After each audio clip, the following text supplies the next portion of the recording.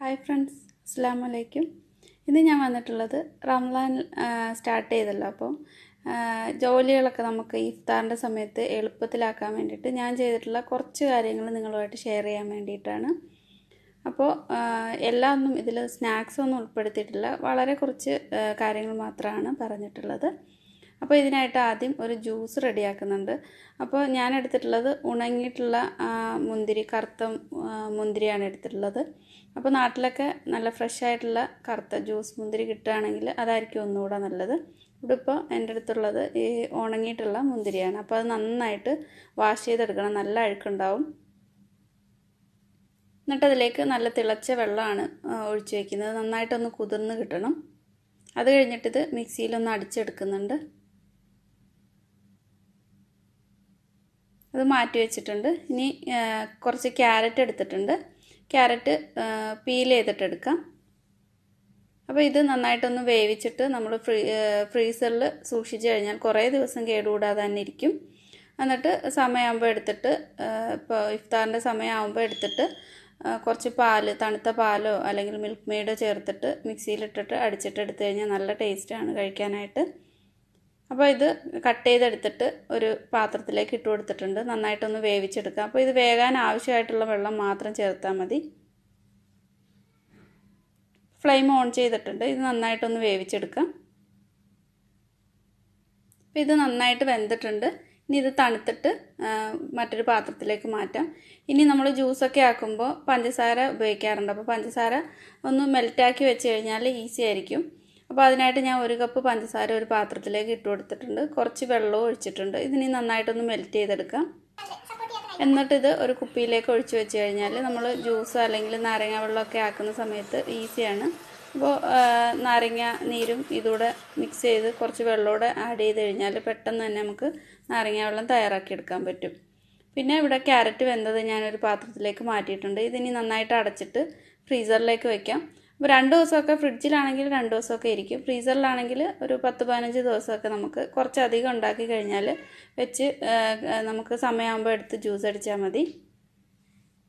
നേരത്തെ തയ്യാറാക്കിയിട്ടുള്ള പഞ്ചസാര ചേർത്തിട്ടുള്ള വെള്ളം റെഡി ആയിട്ടുണ്ട്. അത് കുറച്ചും കൂടെ ഒന്ന് തണുക്കാണ്ട് തണുത്തിട്ട് അടച്ചിട്ട് മാറ്റി വയ്ക്കാം ഇത് പുറത്ത് തന്നെ വെച്ചാലും കേടൊന്നും ആവത്തില്ല. കുറച്ച് ദിവസത്തേക്ക് ഉണ്ടാക്കി വെച്ച് കഴിഞ്ഞാൽ ഈസിയാണ് പിന്നെ ഞാനിവിടെ ചെയ്തിട്ടുള്ളത് ഇഞ്ചിയും വെളുത്തുള്ളിയും നന്നാക്കി എടുത്തിട്ടുണ്ട്. ഇതൊന്ന് പേസ്റ്റാക്കിയിട്ട് വെക്കാം. അപ്പോൾ ഇതും ഫ്രീസറിലാണെങ്കിൽ കുറേ ദിവസം കേടുകൂടാതെ തന്നെ ഇരിക്കും.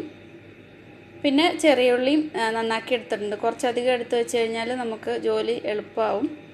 സവാള എടുത്തിട്ടുണ്ട്. സവാള ഞാൻ ഒരു ചോപ്പറിലേക്ക് ഇട്ടിട്ട് ഒന്ന് ചോപ്പ് ചെയ്തിട്ട് വെക്കുന്നുണ്ട്. സിപ്പ് ലോക്ക് ബാഗിലോ അല്ലെങ്കിൽ നല്ല കവർ ചെയ്ത് നല്ല ടൈറ്റായിട്ടുള്ള ഏതെങ്കിലും പാത്രത്തിൽ ഇട്ട് വെക്കണം. സവാള ഉള്ളിയൊക്കെ അല്ലെങ്കിൽ ഫ്രിഡ്ജിലുള്ള ബാക്കിയുള്ളതിലെല്ലാം ഇതിന്റെ മണം ഉണ്ടാവും. അപ്പോൾ ഇതും ഫ്രിഡ്ജിലേക്ക് ഫ്രീസറിലേക്ക് വയ്ക്കാം പിന്നെ ഞാൻ ചെയ്തിട്ടുള്ളത് നാരങ്ങ നീര് ഒരു ഐസ് ക്യൂബിന്റെ ആ ട്രേയിലേക്ക് ആക്കിയിട്ട് വെക്കുന്നുണ്ട്. അപ്പോൾ നാരങ്ങ നീര് നന്നായിട്ട് പിഴിഞ്ഞെടുത്തിട്ടുണ്ട്. പിന്നെ ഈ ബാക്കി വന്നിട്ടുള്ള ഈ തോട് കളയേണ്ട ആവശ്യമില്ല. ഇത് നമുക്ക് അച്ചാർ ഉണ്ടാക്കാൻ നല്ലതാണ്. അപ്പോൾ അതിനായിട്ട് ഉപ്പിട്ടിട്ട് ഏതെങ്കിലും കുപ്പിയിൽ ഇങ്ങനെ ആക്കി വെച്ചിട്ട് കുറച്ച് ദിവസം കഴിഞ്ഞിട്ട് അച്ചാർ ഉണ്ടാക്കിയെടുക്കാം ഇതിന്റെ വീഡിയോ ഞാൻ ഇതിനു മുമ്പ് അപ്ലോഡ് ചെയ്തിട്ടുണ്ട്. അപ്പോൾ ആ പിഴിഞ്ഞെടുത്തിട്ടുള്ള നാരങ്ങാനീര് ഇതേപോലെ ഐസ് ക്യൂബിന്റെ ആ ഒരു ട്രേയിലേക്ക് ഒഴിച്ചു കൊടുക്കാം. എന്നിട്ട് ആവശ്യമുള്ളപ്പോൾ ഇതിൽ നിന്നും ഒരു ക്യൂബ് എടുത്തിട്ട് കുറച്ചധികം വെള്ളം ഒരു രണ്ട് ഗ്ലാസ് വെള്ളമൊക്കെ വേണ്ടി വരും. എന്നിട്ട് ആ പഞ്ചസാര പാനിയാക്കിയതോടെ ഒഴിച്ചു കഴിഞ്ഞാൽ പെട്ടെന്ന് നമുക്ക് നാരങ്ങാവെള്ളം റെഡിയാക്കി എടുക്കാം. അതുപോലെ ഓറഞ്ചിന്റെ നീരും അതേപോലെ തന്നെ ചെയ്തെടുക്കാവുന്നതാണ്. അപ്പോൾ മിക്സിയിൽ അടിച്ചെടുക്കരുത്. ഇതേപോലെ തന്നെ ഒന്ന് കട്ട് ചെയ്തിട്ട് പിഴിഞ്ഞെടുക്കണം. ഞാൻ എടുത്തിട്ടുള്ളത് മുസമ്പിയാണ്. അതും ഇതേപോലെ ട്രേയിലേക്ക് ഒഴിച്ചിട്ട് ഫ്രീസറിൽ വെച്ച് ഐസാക്കി എടുക്കാം. ഇപ്പോൾ നേരത്തെ കുതിർക്കാൻ വെച്ചിട്ടുള്ള മുന്തിരി നന്നായിട്ട് കുതിർന്നിട്ട് ഒന്ന് തണുത്തിട്ടുണ്ട്. ഇതിനി മിക്സിയിലിട്ടിട്ട് നന്നായിട്ട് അടിച്ചെടുക്കാം. അപ്പോൾ ഇപ്പോൾ തന്നെ അതിന്റെ കളറൊക്കെ വന്നിട്ടുണ്ട്. അല്ലെങ്കിൽ കൈ കൊണ്ട് നന്നായിട്ട് തിരുമ്മിയെടുത്താലും മതി. നന്നായിട്ട് അടിച്ചിട്ട് ഇതൊരു അരിപ്പയിലൂടെ അരിച്ചെടുക്കണം. ഇതും ഇതേപോലെ ഐസ് ക്യൂബിന്റെ ആ ട്രെയിൽ ഒഴിച്ചിട്ട് ഫ്രീസറിൽ വെച്ചിട്ട് നമ്മൾ ആ സമയമാകുമ്പോൾ എടുത്തിട്ട് കുറച്ച് വെള്ളവും പഞ്ചസാരയും കൂടെ മിക്സ് ചെയ്തിട്ട് എടുക്കാം. അല്ലെന്നുണ്ടെങ്കിൽ ഇതിലേക്ക് കുറച്ച് വെള്ളം കൂടെ ആഡ് ചെയ്തിട്ട് അങ്ങനെ ഇപ്പോൾ കുറച്ച് തിക്കായിട്ടുള്ള ജ്യൂസാണ് വേണ്ടതെന്നുണ്ടെങ്കിൽ അങ്ങനെയും ചെയ്തെടുക്കാം. ഞാനിവിടെ ഒരു പാത്രത്തിലേക്ക് മാറ്റുന്നുണ്ട് ആ ജ്യൂസ് എന്നിട്ട് ബാക്കിയുള്ളതാണ്. ബാക്കിയൊക്കെ ഫ്രീസറിൽ വെച്ചിട്ടുണ്ട്. എന്നിട്ട് അതിലേക്ക് ആവശ്യത്തിന് പഞ്ചസാര വേണമെന്നുണ്ടെങ്കിൽ ഇതിപ്പോൾ ഉണക്ക ഉണക്ക മുന്തിരി ആയതുകൊണ്ട് നല്ല മധുരം ഉണ്ടാവും. പിന്നെ പഞ്ചസാര അവരവരുടെ ഇഷ്ടത്തിന് ചേർത്തിട്ട് കുറച്ച് വെള്ളം കൂടെ ആഡ് ചെയ്ത് കഴിഞ്ഞാൽ ജ്യൂസ് നമുക്ക് ഫ്രിഡ്ജിലാണെങ്കിൽ ഒരു രണ്ട് മൂന്ന് ദിവസം കേടുകൂടാതെ തന്നെ ഇരിക്കും.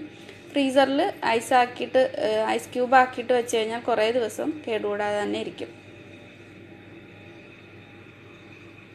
അതേപോലെ തന്നെ ഓറഞ്ചിന്റെ ആയാലും നാരങ്ങയുടെ ആയാലും ജ്യൂസ് പെട്ടെന്ന് തന്നെ നമുക്ക് നോമ്പിന്റെ ഇഫ്താറിന്റെ സമയത്ത് വേഗത്തിൽ ഉണ്ടാക്കിയെടുക്കാൻ പറ്റും. ഇതേപോലെ പഞ്ചസാരയും കുറച്ചൊന്ന് മെൽറ്റാക്കിയിട്ട് ഒരു കുപ്പിയിൽ ഒഴിച്ച് വെക്കുക. അതുപോലെ ഇത് ഐസ് ക്യൂബ് ആ ട്രെയിൽ ഐസാക്കി വെച്ച് കഴിഞ്ഞാൽ ആ സമയമാകുമ്പോൾ നമുക്ക് പെട്ടെന്ന് തന്നെ ജോലികൾ എളുപ്പത്തിലാക്കാൻ പറ്റും.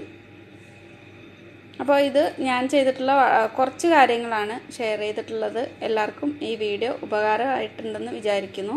ഇഷ്ടമായിട്ടുണ്ടെങ്കിൽ ലൈക്ക് ചെയ്യുക ഷെയർ ചെയ്യുക. അതുപോലെ ഇതുവരെ സബ്സ്ക്രൈബ് ചെയ്യാതെ ആരെങ്കിലും കാണുന്നുണ്ടെങ്കിൽ ഒന്ന് സബ്സ്ക്രൈബ് ചെയ്തിട്ട് തൊട്ടടുത്ത് കാണുന്ന ബെല്ലൈക്കണോട് പ്രസ് ചെയ്ത് ഓൾ എന്നുള്ള ഓപ്ഷൻ സെലക്ട് ചെയ്യാനും മറക്കരുത്.